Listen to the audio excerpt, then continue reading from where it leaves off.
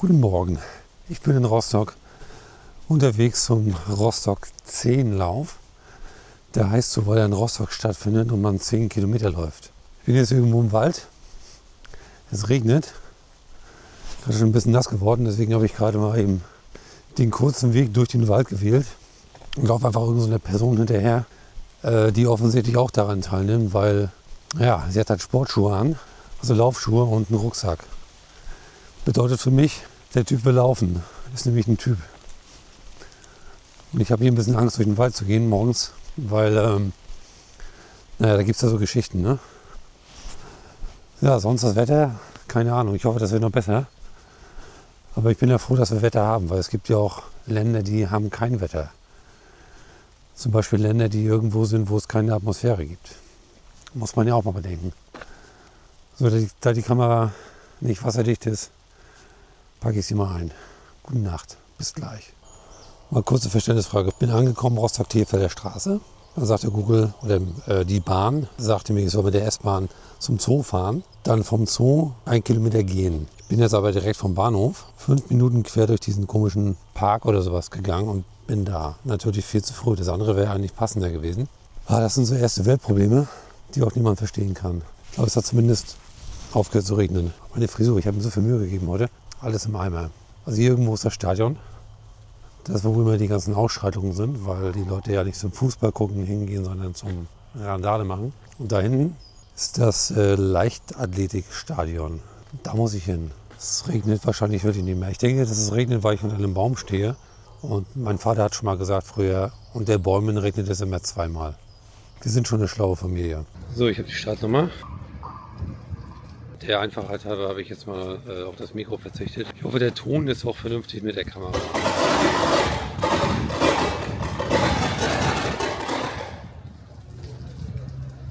Das war jetzt Stadionanlage, Mikrofon, Lautsprecher. So ganz langsam füllt es sich. Es wird noch ein bisschen voll. Ich dachte, hier sind vielleicht nur 200 Leute oder sowas, aber es könnten ein paar mehr sein. Vielleicht 210. Und das mal so ein Blick über das Stadion. Hier wird nicht gelaufen. Ich schätze mal, die äh, Staffelläufe finden hier statt. Viermal zweieinhalb Kilometer Staffellauf gibt es hier, glaube ich, auch. So, ich habe meinen Kollegen getroffen. Wir laufen heute wieder, wir beide wieder für die Firma und für Spenden. Diesmal nicht für Brunnen, sondern für keine Ahnung irgendwas. Und ich werde mich mal ein bisschen warm laufen. Weil, äh, es einfach besser ist. Zielzeit habe ich heute keine. Ich einfach nur irgendwie unter 50 Minuten wie gehabt ankommen. Aber äh, nicht großartig überanstrengend, weil in zwei Wochen ist halt Lübeck und da möchte ich gerne ein bisschen besser sein. Also ganz entspannt heute. Also entspannt normal. So, halbe Stunde noch. Ja, 25 Minuten. Ich bin jetzt hier irgendwo an dem Stadion von Rostock. Tada! Wer es kennt, bitte mal ein Fußball-Emoji in die Kommentare schreiben. Oh, ich habe die ganze Woche nicht einmal Sport gemacht. Na, die ganze Woche. Wir haben heute ist Donnerstag. Aber trotzdem, kein Sport. Bin gespannt, was das wird. Deswegen muss ich mich ein bisschen besser warm machen heute. Sonst äh, habe ich morgen Schmerzen. Da ist die Eishalle übrigens. Da war ich auch schon mal. Und es hat aufgehört zu regnen. Das heißt, ich kann hoffentlich beim Laufen ein bisschen filmen, weil das ist der Plan. Dass ich einfach ein bisschen filme, äh, während ich laufe. Um das Video unnötig in die Länge zu ziehen. Ja, bis gleich. So 10 Minuten noch. Durchschnittsalter ist hier, glaube ich, heute so bei 21. Also dank mir, ohne mich wahrscheinlich 18. Und alle sehen da sehr sportlich aus. Naja, das ist ganz offensichtlich. Das ist der Start hier im Stadion. Deswegen heißt es ja auch Stadion, weil der Start hier ist. Und dann geht es einmal um das Stadion rum und dann raus. Aus dem Tor. Und es wird sehr spannend. Wie gesagt, die sehen alle sehr, sehr sportlich aus hier heute. Ich fühle mich ein wenig deplatziert weil ich auch nur so mittelmäßig bin. Aber es geht halt los. Oh, warte mal. Wollt ihr starten? 10, 9, 8, 7, 6, 5, 4, 3, 2, 1. Das war der Startshow. Wir haben heute nochmal, euch wieder. Dokumentiere das Ganze mal. Also, wie gesagt, Start ist im Stadion gewesen. Knappe Runde und dichtes Feld. Erstmal fangen alle sehr langsam an. Blende mal die Strecke ein. Äh, das ging dann durch diverse äh, Stadtteile. Den Typen links gerade eben mal im Hinterkopf behalten, der taucht noch ein paar Mal auf. Und ich habe immer geguckt, dass ich mir irgend so ein Feld schnappe, so eine Gruppe. Ist ja wie im richtigen Leben, man sucht sich eine Gruppe aus gucke, ob es passt. Wenn nicht, zieht man weiter. In dem Fall bin ich dran vorbeigezogen. Da vorne die mit dem Cappy, die sieht man gleich nochmal. Also mit, der, mit dem blonden Haaren und dem Cappy links hinten in schwarz. 445er PS gerade. Ungefähr. Kann man gar nicht lesen. Naja. Genau, da ist hier an die habe ich mich nachher gehalten, weil wir ein bisschen schneller waren als die anderen gerade eben. Ungefähr so 440, schätze ich mal. Ich habe also nicht immer auf die Uhr geguckt und im Wald war das teilweise auch mit dem GPS äh, ja nicht so akkurat, glaube ich zumindest. Da vorne der mit dem blauen Shirt, den auch mal merken, der taucht nachher auch nochmal auf. Ich sage nicht wo, aber später auf jeden Fall. Und überall war es gut abgeschirmt. Polizei, Krankenwagen, Feuerwehr, überall. Jetzt sind wir bei Kilometer 6 ungefähr schon, kurz nach der ersten Trinkstelle, nach der einzigen Trinkstelle, die ich verpasst habe. Und hier mal kurz äh, Überholmanöver, wie ich ganz cool rechts angetäuscht habe und links vorbeigelaufen bin. Richtig gut.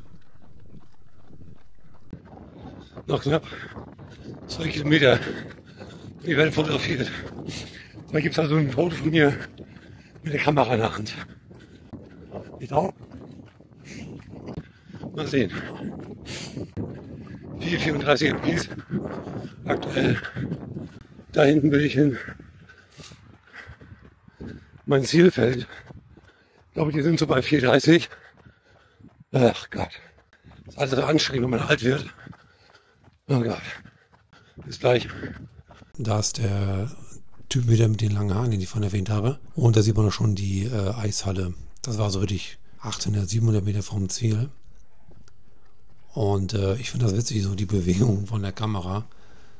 Sieht komisch aus, wenn die Leute laufen. Naja. Da vorne jemand mit Rucksack und Verpflegung. Und da rechts eine Staffelläuferin.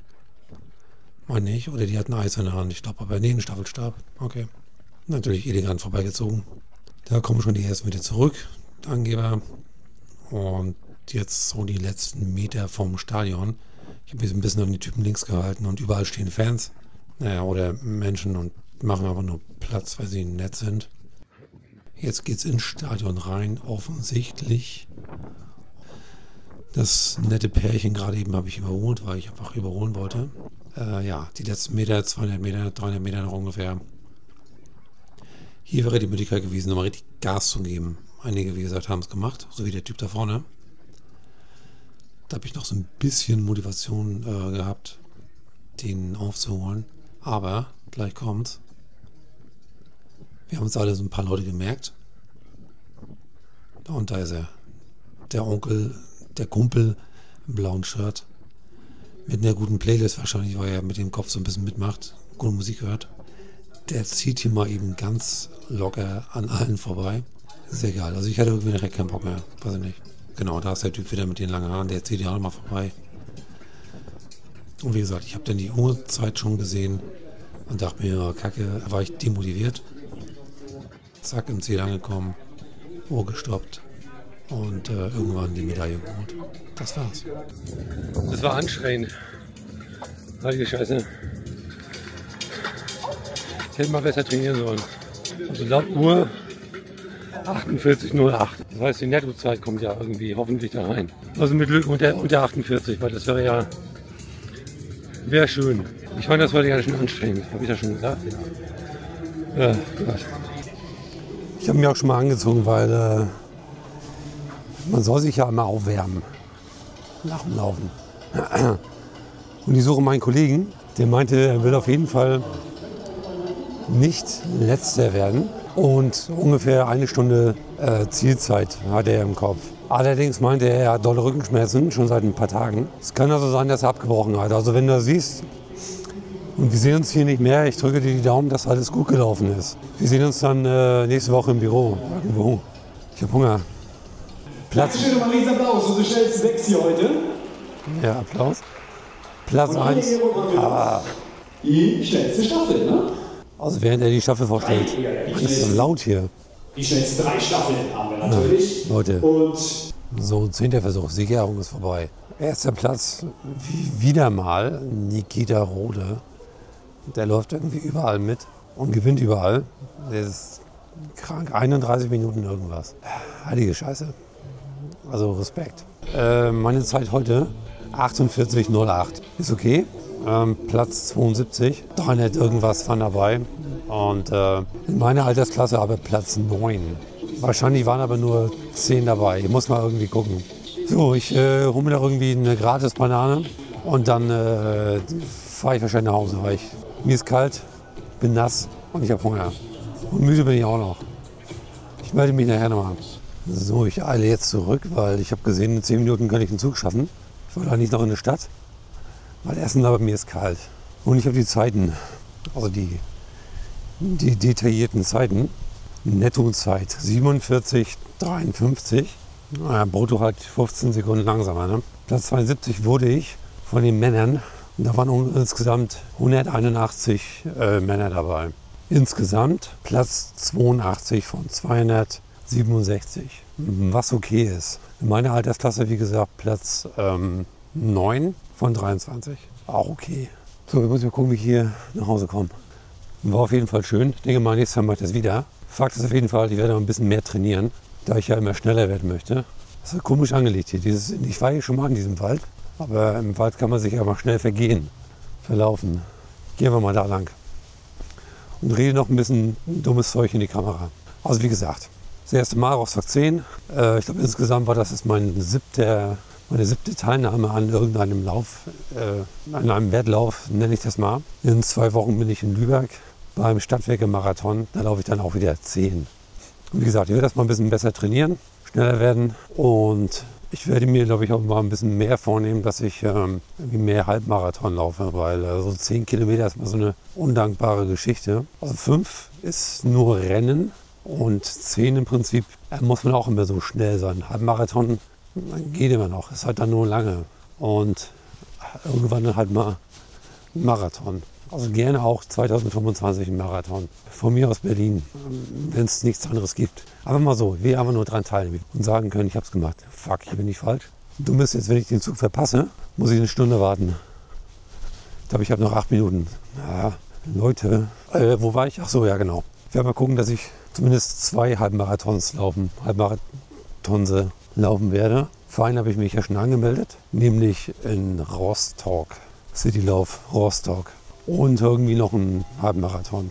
So, die locken Leuten schon, Zeit in die Kirche zu gehen. Heute ist übrigens der Tag der einen Deutschheit, äh, deutschen Einheit. Deswegen ist heute frei. das Gute ist, ich habe morgen auch frei. Morgen ist nämlich Freitag und da werde ich schön meine Wohnung aufräumen und so. Ich denke mal, das Video beende ich hier. Vielen Dank. Eventuell melde ich mich nochmal von zu Hause am Rechner. Falls nicht, tschüss, bis bald. Und immer schön den Tag der deutschen Einheit feiern. Immerhin hat David Hasselhoff extra einen Song komponiert und quasi die Mauer heruntergerissen mit seinem Gesang und mit seiner Brustbehaarung. In dem Sinne, ciao.